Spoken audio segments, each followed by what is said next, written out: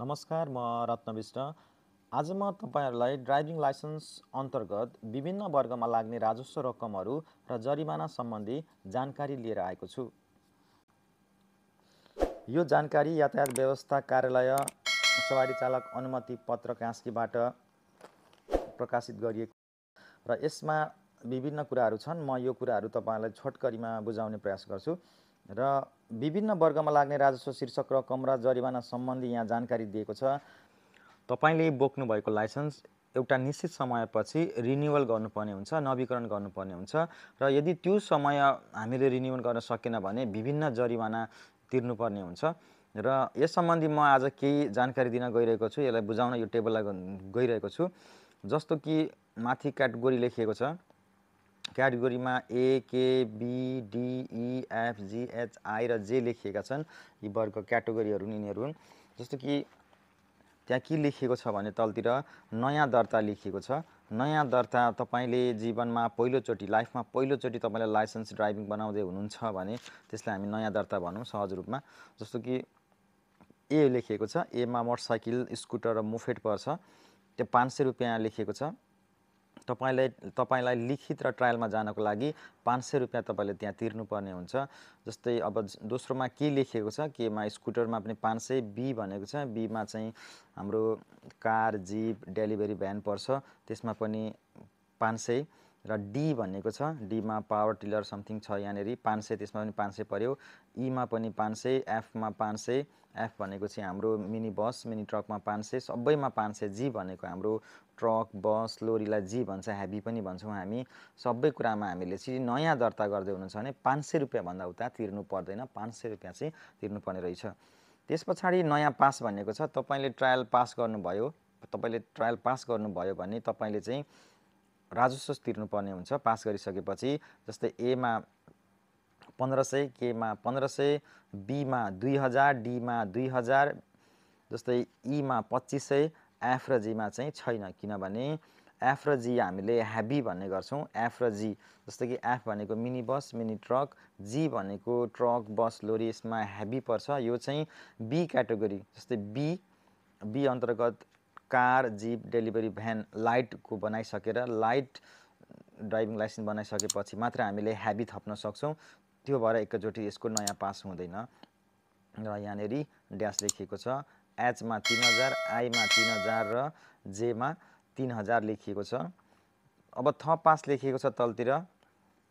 तपाईँसँग तपाईँले थप पास भन्नाले जस्तो कि तपाईँसँग ए मोटरसाइकलको मोटरसाइकलको तपाईँसँग लाइसेन्स छ त्यसको एक्सपायरी डेट भएको छैन त्यसको रिन्युवल गर्ने टाइम अझै बाँकी छ त्यसको म्याच छ भने तपाईँले फेरि थप पास गर्नुभयो। तपाईँले चाहिँ एट क्याटेगोरीमा थप पास गर्नुभयो भने पाँच सय पाँच सय पाँच सय पाँच सय सबैमा पाँच सय छ। उता पर जीमा हेभीमा हजार एचमा हजार आईमा र जेमा उता मात्रै हजार रुपियाँ छ। थप पास भनेको त्यसै माथि हामीले चाहिँ एट क्याटेगोरीमा पुनः पास गरियो भने जस्तै तपाईँसँग बीको छ तपाईँसँग लाइटको लाइसेन्स छ तपाईँले हेभी पास गर्नुभयो भने त्यसमा तपाईँले एक हजार रुपियाँ तिर्नुपर्ने हुँदो रहेछ यसरी बुझ्न खोजिएको छ। जस्तै तलतिर नवीकरण छ तपाईँले पाँच वर्षसम्म लाइसेन्सको म्याद हुन्छ पाँच वर्ष कटेपछि तपाईँले रिन्यू गर्नुपर्ने हुन्छ त्यसलाई हामी नवीकरण भन्छौँ तलतिर नवीकरण छ। पन्ध्र सय पन्ध्र सय दुई हजार दुई हजार पच्चिस सय पच्चिस सय तिन हजार तिन हजार तिन हजार छ यसरी लेखिएको छ तपाईँले नवीकरण गर्दाखेरि यसरी तिर्नुपर्ने हुन्छ। र अर्को छ प्रतिलिपि लेखिएको छ। प्रतिलिपि भन्नाले तपाईँकोले चाहिँ प्रतिलिपि निकाल्नु पऱ्यो भने तपाईँले पाँच सय रुपियाँ लाइसेन्सको प्रतिलिपि निकाल्न पाइन्छ। पाँच सय रुपियाँ तिर्नुपर्ने हुन्छ। सबै शीर्षकमा तपाईँले चाहिँ पाँच सय रुपियाँ रहेछ। र यसरी पाँच वर्षसम्म लाइसेन्सको म्याद हुन्छ। पाँच वर्ष कटेपछि नब्बे दिनसम्म नवीकरण गर्दा जरिमाना लाग्दैन। पाँच वर्ष कटेपछि पनि तिन महिनासम्म अथवा नब्बे दिनसम्म तपाईँले चाहिँ नवीकरण गर्न भ्याउनु भएन भने पनि जरिमाना लाग्दैन। नब्बे दिनपछि एक वर्षसम्म एक सय पर्सेन्ट भनिएको छ। जस्तो कि नब्बे दिनपछि एक वर्षसम्म तपाईँको चाहिँ एक सय पर्सेन्ट लाग्ने रहेछ तपाईँको लाइसेन्स। जस्तो कि तपाईँसँग बाइकको छ बाइकको तपाईँले नवीकरण गर्दाखेरि पन्ध्र सय रुपियाँ तिर्नु पर्थ्यो तपाईँले गर्नु भएन म्याद नब्बे दिन पनि पाँच वर्ष कटेर पनि नब्बे दिन लाग्यो भने तपाईँले चाहिँ एक सय पर्सेन्ट भनेको शत प्रतिशत हो। पन्ध्र सय एक सय पर्सेन्टको पन्ध्र सय पन्ध्र सयको एक सय पर्सेन्ट भनेको पन्ध्र सय नै हो। यसरी तपाईँले पन्ध्र दुना तिस भनेपछि तिन हजार रुपियाँ तपाईँले चाहिँ तिर्नुपर्ने हुन्छ एक नब्बे दिनपछि एक वर्षसम्म। एक वर्षपछि दुई वर्षसम्म दुई सय पर्सेन्ट भनिएको छ। एक वर्ष पनि कट्यो त्यस पछाडि दुई वर्षको रनिङ हुँदैछ भने तपाईँले दुई सय पर्सेन्ट तिर्नु पऱ्यो त्यो सुरुकोमा जस्तै पन्ध्र सयको दुई सय पर्सेन्ट तपाईँले निकाल्नु पर्ने हुन्छ। दुई वर्षपछि तिन वर्षसम्म तिन सय पर्सेन्ट भनिएको छ दुई वर्षदेखि तिन वर्षसम्म पनि तपाईँको तपाईँले रिन्यू गर्नु भएन भने तिन सय पर्सेन्ट तिन वर्षपछि चार वर्षसम्म चार सय पर्सेन्ट पाँच वर्षपछि पाँच वर्ष चार वर्षपछि पाँच वर्षसम्म पाँच सय पर्सेन्ट पाँच वर्ष कटेपछि लाइसेन्स नवीकरण हुँदैन। अब यहाँ के भनेको छ भने कतिपय अवस्थामा के सोध्नुहुन्छ भने मेरो लाइसेन्सको डेट त्यो कहिलेसम्म हुन्छ कति पर्सेन्ट तिर्नुपर्छ भनेर भन्नुहुन्छ। धेरै जसोले पाँच वर्ष कटेपछि लाइसेन्सको नवीकरण हुँदैन। तपाईँले पाँच वर्षपछि रिन्युवल गर्नुपर्छ। समग्रमा भन्नुपर्दा एउटा लाइसेन्सको भ्यालिड एउटा म्याद पाँच वर्षसम्मको हुन्छ।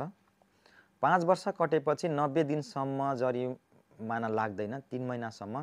त्यस पछाडि नब्बे दिनपछि पाँच वर्षसम्म जरिमाना तिरेर तपाईँले आफ्नो लाइसेन्स नवीकरण गर्न रिन्युवल गर्न सक्नुहुनेछ र त्यस पश्चात पनि तपाईँले गर्न सक्नु भएन भने तपाईँको लाइसेन्स तपाईँको लाइसेन्सको डेट रिन्युवल हुनेवाला छैन र तपाईँले पुनः नयाँ दर्तामा जानुपर्ने हुन्छ नयाँ ट्रायल नयाँ लिखितमा जानुपर्ने हुन्छ।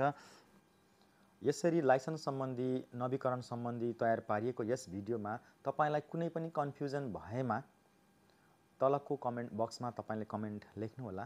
म सकेसम्म यसको उत्तर दिने प्रयास गर्नेछु। यसो भन्दै म रत्नविष्ट बिदा हुन चाहन्छु। होस् त धन्यवाद।